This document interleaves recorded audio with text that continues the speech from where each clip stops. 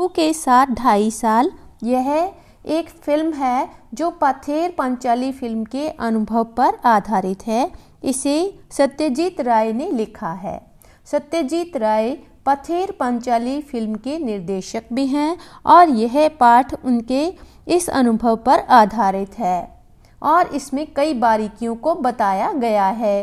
Pather Panchali film को बनाने में पूरे ढाई साल लगे थे और इसमें अप्पू और दुर्गा की मुख्य भूमिका थी। अप्पू की भूमिका के लिए छः साल के लड़के की ज़रूरत थी, जिसके लिए अखबार में विज्ञापन दिया गया और आखिरकार उन्हें अपने पड़ोस में रहने वाला लड़का सुबीर बनर्जी इस भूमिका के लिए उचित लगा। लेखक को इस बात का डर था कि समय बीतने के साथ साथ और अपू दुर्गा की भूमिका निभाने वाले बच्चे ज़्यादा बड़े ना दिखने लगे। खुशकिस्मती से ऐसा नहीं हुआ, क्योंकि फ़िल्म को बनाने में ढाई साल लग गए थे। शूटिंग की शुरुआत कलकत्ता से सत्तर मील दूर पालसिट नाम के गाँव में हुई थी। वहाँ रेल लाइन के पास कास फूलों से भरा एक मैदान था। सीन बहुत बड़ा था, जिसकी शूटिंग एक दिन में होना मुश्किल था। सात दिन बाद जब बाकी के आधे सीन की शूटिंग करने आए तो पता चला कि सारे काशफूल गायब हैं। सारे काशफूल जानवर खा गए। इसके कारण से अगले वर्ष के लिए शूटिंग को कैंसिल करना पड़ा। और इस सीन की शूटिंग में पहली बार लेखक ने तीन रेलगाड़ियों का इस्तेमाल किया। चूँकि लेखक स्वयं एक विज्ञापन कंपनी में काम करते थे, इसलिए जब उन्हें समय मिलता तो शूटिंग कर लेते थे। उनके पास पर्याप्त पैसों का ही अभाव रहता था, इसके कारण उन्हें कई परेशानियों का सामना करना पड़ा। पैसे के अभाव के कारण फ़िल्म में कुत्तों, कुत्ते के आधे सीन चित्रित करके बीच में छोड़ दिया गया।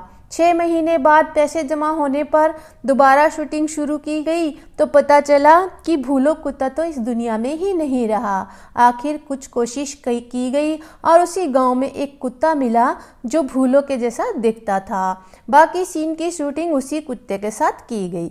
फ़िल्म में श्रीनिवास की भूमिका निभाने वाले कलाकार की भी बीच में ही मौत हो गई।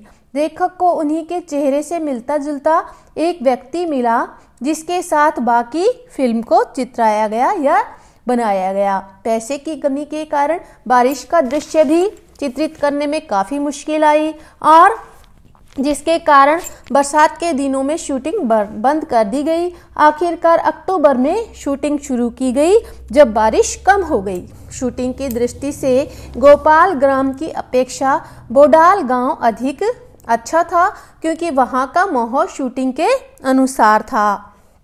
गाँव में शूटिंग करते समय लेखक का अनेक लोगों से परिचय हुआ, जो अलग अलग व्यक्तित्व के थे। जिस घर में फ़िल्म की शूटिंग चल रही थी, उसका मालिक कलकत्ता में रहता था। उस घर में एक ऐसा कमरा भी था, जहाँ बैठकर साउंड रिकॉर्डिंग का काम किया जाता था। वहीं साउंड रिकॉर्डिस्ट भूपेन बाबू का सामना एक बड़े सांप से होता है, जो स्थानीय लोगों के अनुसार वास्तु सर्प था। लेखक उसे माना चाहते थे, लेकिन लोगों के मना करने पर उन्होंने ऐसा नहीं किया।